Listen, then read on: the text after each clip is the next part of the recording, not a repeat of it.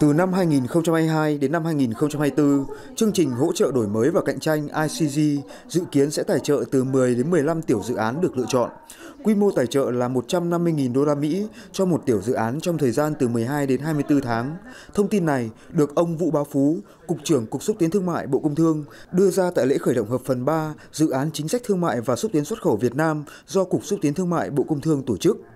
Dự án chính sách thương mại và xúc tiến xuất khẩu Việt Nam do chính phủ Thụy Sĩ tài trợ, dự án Sweet Trade là chương trình hỗ trợ kỹ thuật về thương mại do Tổng cục Kinh tế Liên bang Thụy Sĩ SECO tài trợ. Trong khuôn khổ hợp phần 3 của dự án này, Cục xúc tiến thương mại là cơ quan đầu mối được Bộ Công Thương giao nhiệm vụ trực tiếp triển khai. Mục tiêu chính là tập trung xây dựng và triển khai chương trình hỗ trợ đổi mới và cạnh tranh ICG để cung cấp dịch vụ hỗ trợ xuất khẩu cho các tổ chức kinh doanh, doanh nghiệp vừa và nhỏ của Việt Nam. Được biết, dự án Sweet Trade gồm 3 hợp phần chính để hỗ trợ Bộ Công Thương xây dựng chiến lược xuất nhập khẩu hàng hóa thời kỳ 2021-2030, đánh giá hiện trạng, triển khai các diễn đàn đối thoại công tư trong quá trình xây dựng và thực thi chính sách nói chung, chính sách thương mại và xúc tiến xuất khẩu nói riêng, tổ chức tập huấn, đào tạo nâng cao năng lực cho các bên tham gia về các diễn đàn đối thoại công tư, xây dựng và triển khai chương trình hỗ trợ đổi mới và cạnh tranh ICG để triển khai các sáng kiến giúp doanh nghiệp vừa và nhỏ Việt Nam nâng cao năng lực cạnh tranh xuất khẩu và tham gia vào chuỗi giá trị toàn cầu.